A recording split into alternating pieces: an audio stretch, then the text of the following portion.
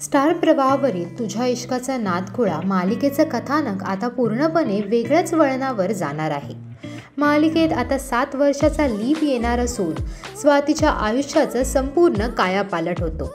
स्वाती आता त्या गावची ताईजी बनून सगळी सत्ता आपल्या हातात घेते. पण रघुचं नक्की काय झालं?